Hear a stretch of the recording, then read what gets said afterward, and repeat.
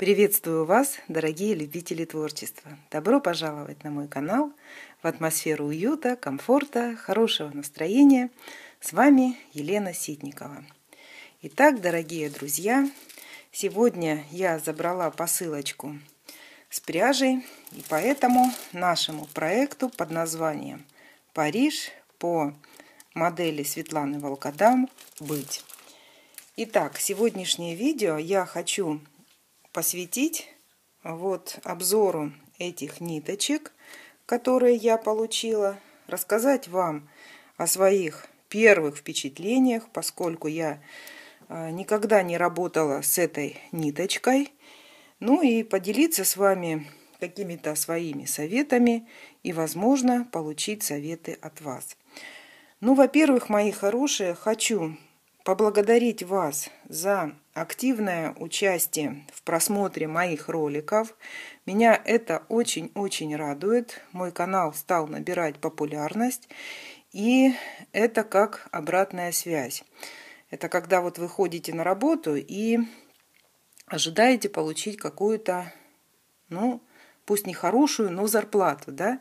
Вот так вот и блогеров, ваши вот просмотры, ваши комментарии, ваша активность очень хорошо подхлестывают на новые идеи, на новое вдохновение и хочется творить в прекрасном настроении. Поэтому я очень-очень благодарна вам за просмотры моего, моих видео, а, за подписку на мой канал, за ваши лайки, в общем, за всю вашу активность.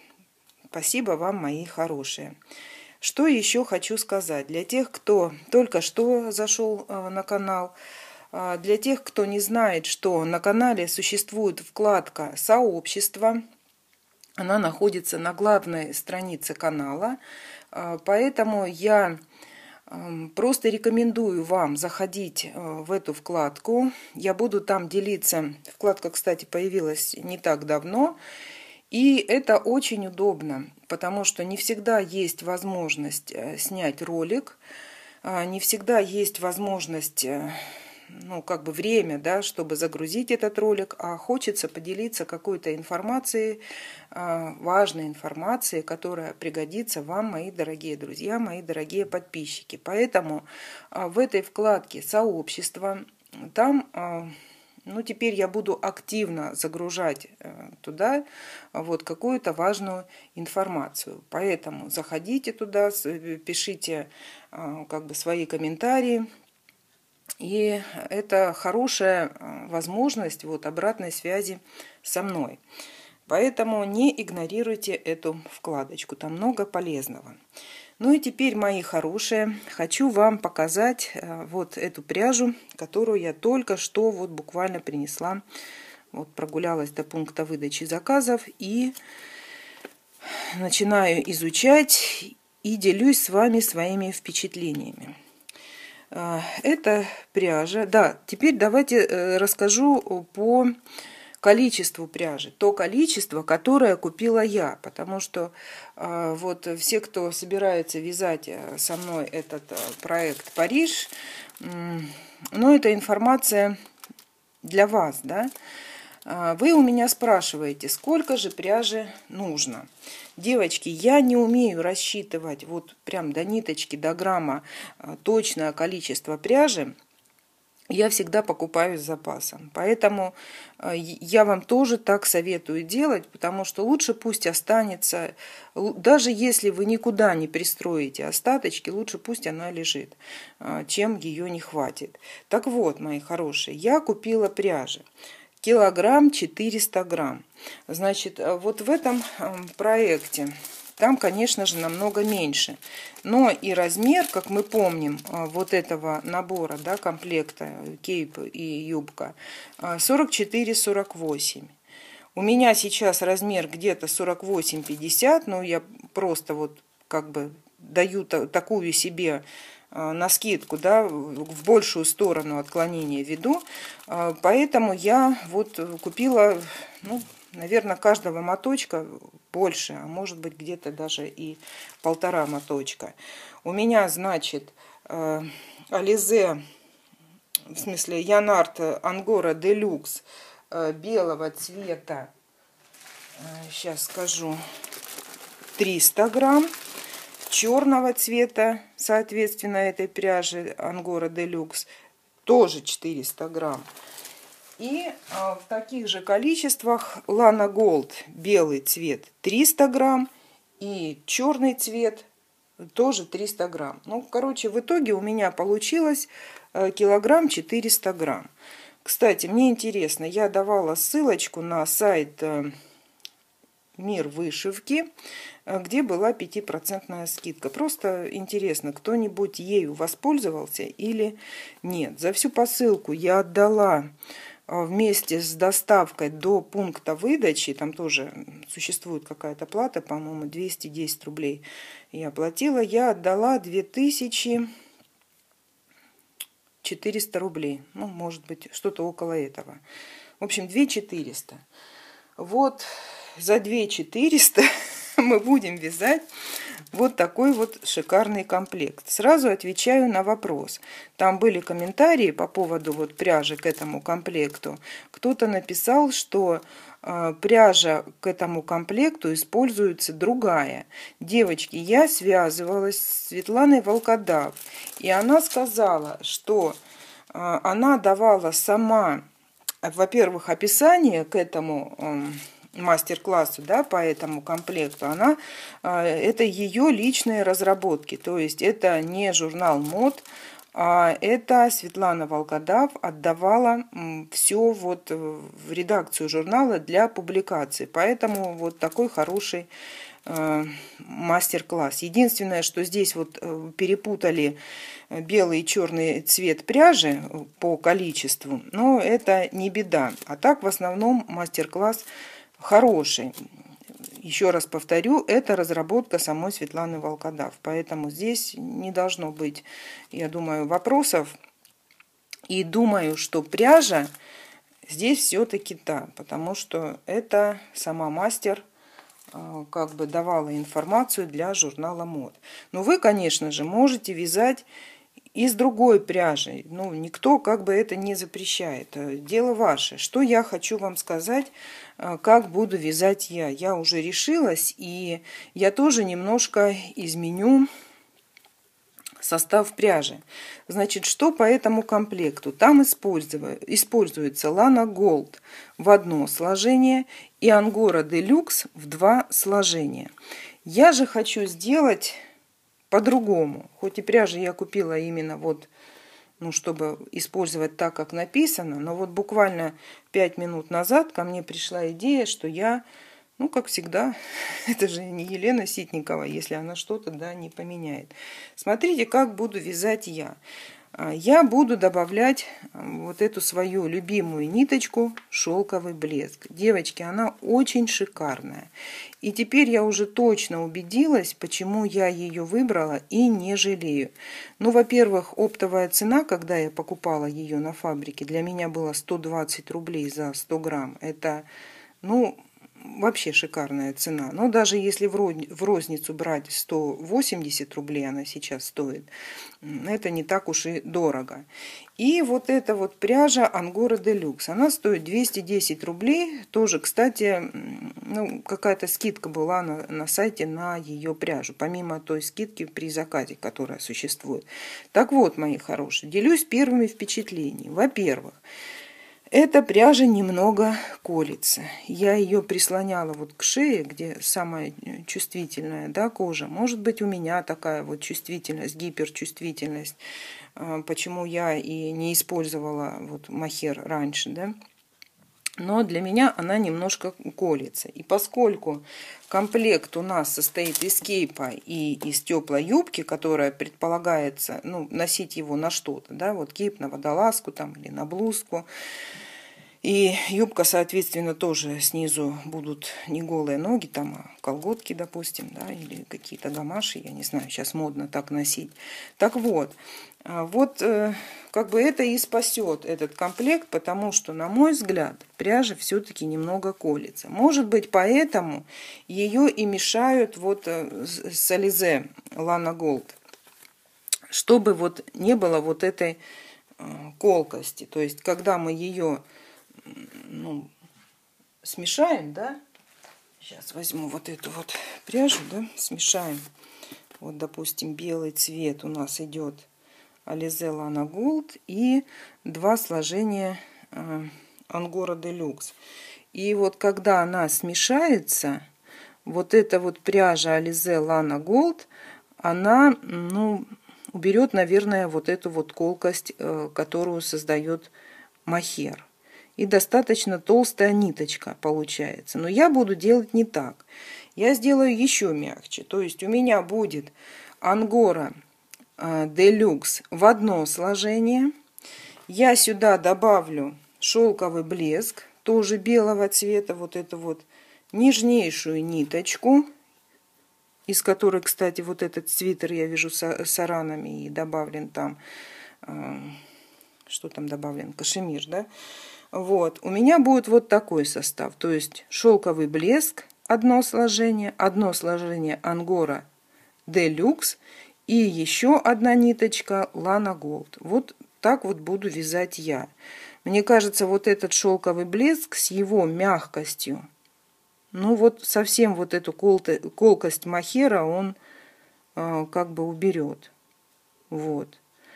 Поэтому вот к чему вот я пришла, да, вот эти нитки, шелковый блеск по этой цене, это шикарная цена для такого качества ниток. Потому что я вот пробую вот эти вот ниточки по 137 рублей Лана Голд, да, вот эту ангору я почему-то думала, что вот эта ниточка будет мягче. Нет, она не такая уже мягкая, да, она создаст э, тепло, уют какой-то, но для меня важно, чтобы она была не колкая. Но она, к сожалению, увы, не могу сказать, что прям уж очень колется – но все-таки колется. Ну ничего страшного, кейп мы будем носить не на голое тело, поэтому я думаю, что будет все нормально и хорошо. Так что вот, мои хорошие, вот делюсь с вами своими мыслями. Делюсь с вами своими ниточками, своей покупкой, своим приобретением. Вот, к проекту я готова. Что еще? Сегодня я еще получила а, вот этот вот наперсток для вязания жаккарда. Девочки, сразу хочу сказать, он очень маленький. Вот на картинке он выглядит достаточно такой крупный. И здесь вот э, есть вот такая вот штучка, типа вот, ну, оверсайз, да, на любой пальчик можно одеть. Вот это вот предполагает, что оно растягивается, да. То ли у меня руки очень большие и пальцы толстые. Но когда я его примерила и походила какое-то время вот с этим наперстком, ну, буквально вот полчас, полчасика, да, у меня онемел пальчик. Девочки, но я и нашла, и из этой ситуации а, нашла решение.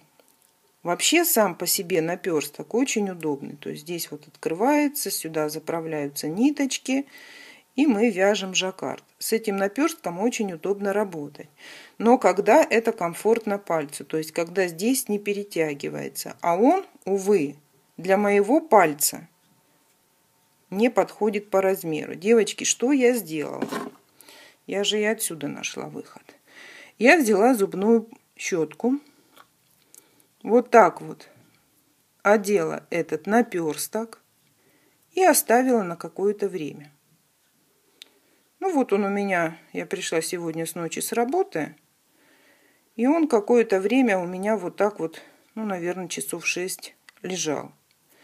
И вот перед выходом за посылочкой, думаю, дай-ка я посмотрю, что, что же там происходит, как моя идея, работает или нет.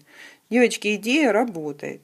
То есть, если оставить на какое-то время наперсток на ну, не обязательно это должна быть зубная щетка. Какой-то какой другой диаметр, ну, естественно, который будет больше вашего пальца, да. Вот оденьте этот наперсток на эту штуковину.